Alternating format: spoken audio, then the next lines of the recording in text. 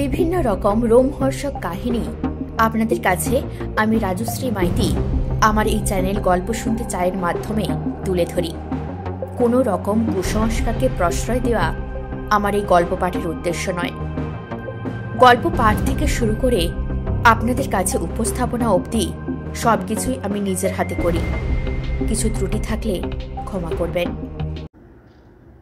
আজ আপনাদের শোনাচ্ছি শ্রদ্ধেয় হরিনারায়ণ চট্টোপাধ্যায়ের লেখা আমরা আছি গল্পটি।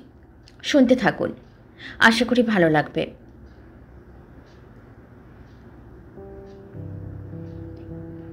ছেলেবেলা থেকে আমার ভূত খোঁজার নেশা।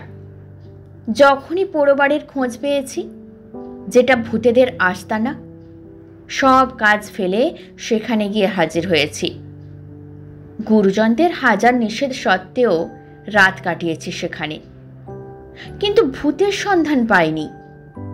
কতবার যে শ্মশানে ঘুরেছি, তার ঠিক ঠিকানা নেই।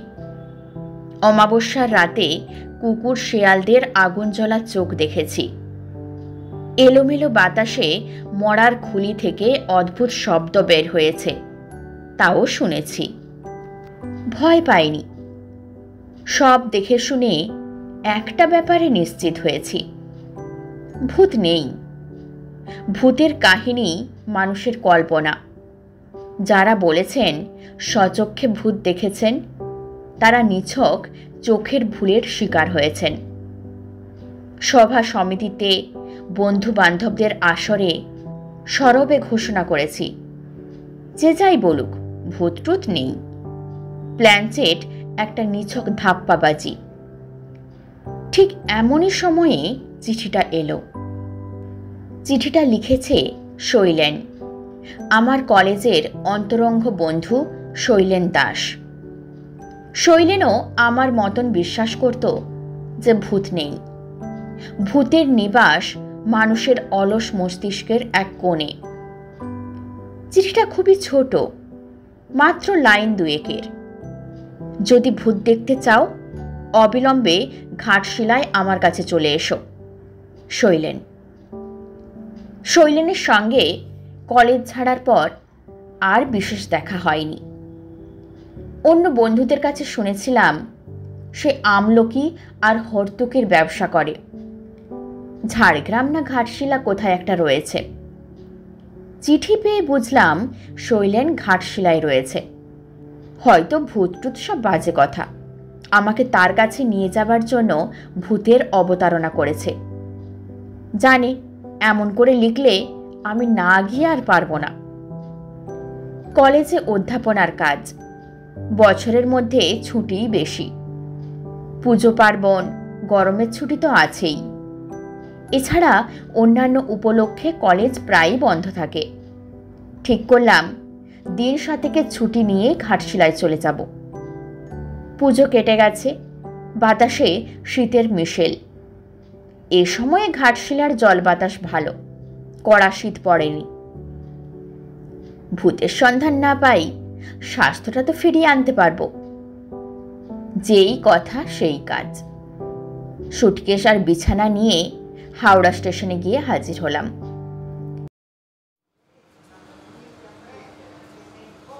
ট্রেন ছাড়া দেরি ছিল। কামরার এক কোণে মালপত্র রেখে একটা পত্রিকা কিনে বেঞ্চের উপর বসলাম। একটা গল্পের লাইন দুয়েক পড়েছি। হঠাৎ পরিচিত কণ্ঠে চমকে উঠলাম। আরে, কি খবর? মুখ তুলে অবাক হলাম। সামনে দাঁড়িয়ে শৈলেন। বগলে খবরের কাগজ, হাতে রঙিন ব্যাগ।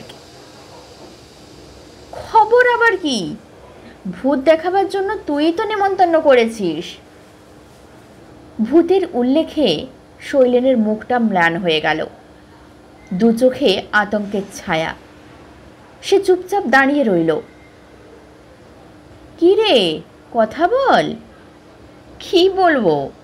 ব্যাপারটা আমিও ঠিক বুঝতে পারছি না। তোর কথা মনে হলো তাই তোকে চিঠি লিখলাম।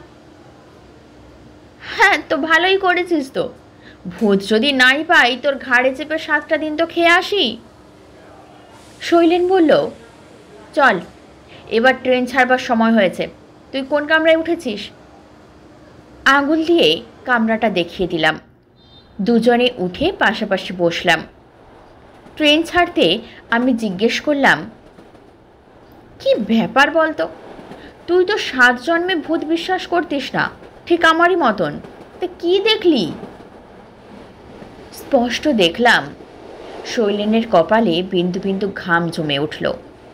গালের পেশিগুলো কেঁপে উঠল থরথরিয়ে। সে মৃদু কণ্ঠে বলল, এই হঠাৎ বাতি বন্ধ হয়ে যেত। এক তিল হাওয়া নেই, অথচ দরজা জানলাগুলো নিজেদের ইচ্ছা মতো খুলছে আর বন্ধ হচ্ছে। পাশের ঘরে খুটখাট শব্দ, গিয়ে দেখি কেউ কোথাও নেই। উফ এই এক ব্যাপার। যারাই ভূতের উপদ্রবের কথা বলেছে, তারা সবাই ঠিক এই একই কাহিনী শুনিয়েছে।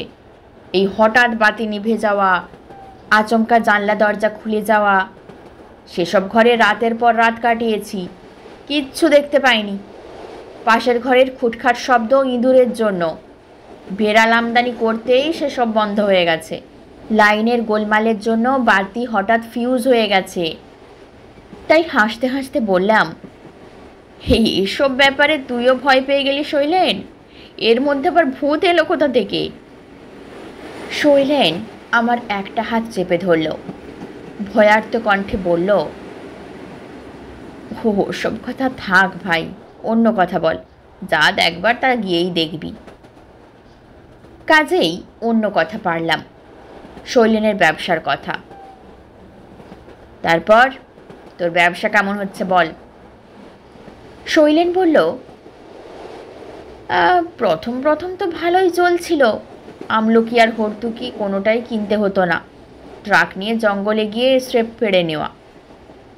তারপর সেই ট্রাক বড় বাজারে নিয়ে আসা। কিন্তু ইদানিং মুশকিল হয়েছে। কি মুশকিল? যারা সব জঙ্গল ইজারা নিচ্ছে, তারা জঙ্গলে ঢুকতে দিচ্ছে না। আমলকি হর্তুকি চালান তারাই দিচ্ছে।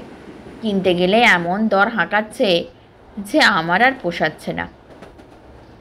তাহলে কি করবি? ভাবছি অন্য ব্যবসা ধরব।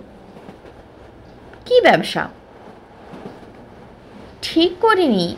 তুই চল, দুজনে বসে ঠিক করা যাবে। তবে ঘাট সেলাই আর নয়। কেন রে? না ভাই। ঘাট সেলাই আর থাকব না। থাকতে পারব না।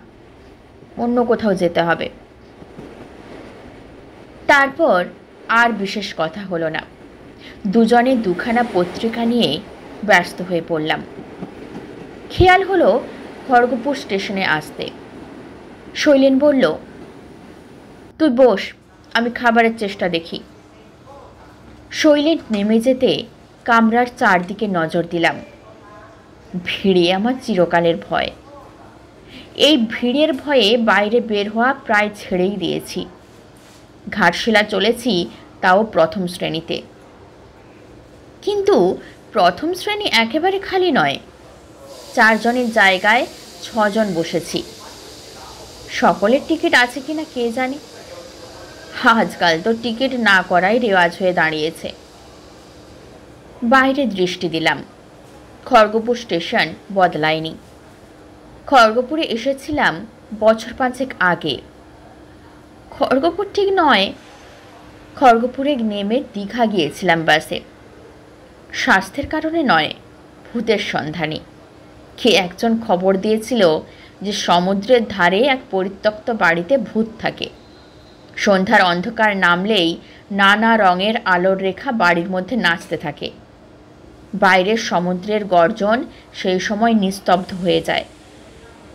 সেই সব আলোর রেখা যার দেখবার দুর্ভাগ্য হয়, তার মাথার গোলমাল হয়। খবর সংগ্রহ করে জেনেছিলাম কে একটা লোক সম্পত্তির লোভে কাকে যেন গলা টিপে এই বাড়িতে দম বন্ধ করে মেরে ফেলেছে। সেই লোকটিও আর ফিরতে পারেনি। যতবার বেরোতে গেছে, রঙিন আলোর রেখা তার পথ আটকে ধরেছে। শুধু আলোর রেখাই নয়, সঙ্গে করুণ একটা আর্তস্বর। লোকটির মস্তিষ্ক বিকৃত হয়েছিল। অজ্ঞান অবস্থায় অন্য লোকেরা তাকে বাইরে নিয়ে আসে। জ্ঞান হলে তার কথাবার্তা শুনে রাঁচির হাসপাতালে তাকে পাঠিয়ে দেয়। সেইখানেই কিছুদিন পর লোকটির মৃত্যু হয়। সন্দেহ নেই, গল্পটা খুব জমজমাট গল্প। আমি গিয়ে সাত দিন ছিলাম। রঙিন আলো তো দূরের কথা, কোনো আলোই আমি দেখতে পাইনি। শুধু ভাঙা ছাদের মধ্য দিয়ে সমুদ্রের ঝোড়ো হাওয়া হু হু শব্দে বইত। সেই হাওয়ায় জরাজীর্ণ বাড়ির পলেস্তারা ঝুপঝুপ করে খসে পড়ত। দীঘার ভূতের ব্যাপারে নিমগ্ন ছিলাম। খেয়াল হলো, ট্রেন নড়ে উঠল। তাই তো, ট্রেন ছেড়ে দিল। অথচ শৈলেন কোথায়? শৈলেন না উঠতে পারলেই মুশকিল। এই প্রথম মনে পড়ল শৈলেনের চিঠিতে তার বাসার কোনো ঠিকানা ছিল না। অবশ্য তাতে খুব অসুবিধা হতো না। ঘাটশিলা এমন কিছু বড় জায়গা নয়। সেখানে বাঙালিও কম নেই। তাদের কাছে শৈলেন দাসের আস্তানা পাওয়া দুরূহ হতো না। একটু পরেই শৈলেন এসে দাঁড়াল। কী রে? ট্রেন তো ছেড়ে দিয়েছে, কোথায় ছিলি? আরে, একেবারে গরম ভাজিয়ে আনতে একটু দেরি হয়ে গেল। ছুটতে ছুটতে হাতল ধরেছি। এই নে, খা। শৈলেন প্রচুর গরম লুচি এনেছে, লুচি আর তরকারি। খাওয়ার পর ভর পেটে বেশ একটু ঢুলু নিয়ে এলো। যখন চোখ বুঝলাম তখন ট্রেন ঘাটশিলা স্টেশনে ঢুকছে। বেশ লম্বা ঘুমিয়েছি। চোখ চেয়ে দেখলাম পাশে শৈলেন নেই। বগলে বিছানা হাতে সুটকেস ঝুলিয়ে তৈরি হয়ে নিলাম। একটু এগোতেই দেখলাম শৈলেন দরজার কাছে দাঁড়িয়ে আছে। স্টেশনে নামা গেল। বেশ কনকনে বাতাস বইছে, পাহাড়ি ঠান্ডা। স্টেশনের বাইরে আসার পর শৈলেন বলল, তুমি এখানে দাঁড়াও, আমি একটা সাইকেল রিক্সা ডেকে নিয়ে আসি। এখান থেকে বেশ দূর। রঙ্কিনী দেবীর মন্দিরের কাছে আমার ডেরা।